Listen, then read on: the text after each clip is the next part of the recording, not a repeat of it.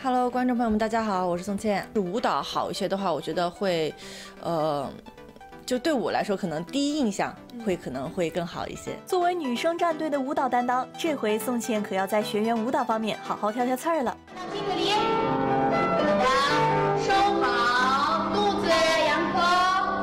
身为导师的宋茜，在点播学员舞技的同时，也让她回忆起了自己的出道时光。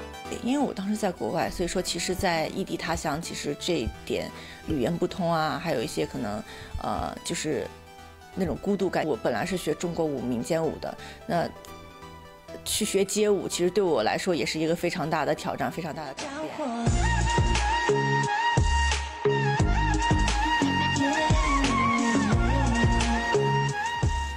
就像宋茜说的，比起体力上的辛苦，心理压力才是最难克服的。但一旦克服过去了，就可以打开新世界了。其实年纪不是问题，看你能不能吃得了这个苦。你能吃得了这份苦，然后能过得了呃自己心理压力的那一关，愿意去为自己想要呃愿意去为自己的梦想付出努力。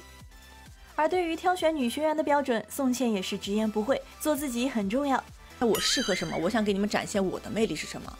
新闻的在线上海独家采访报道。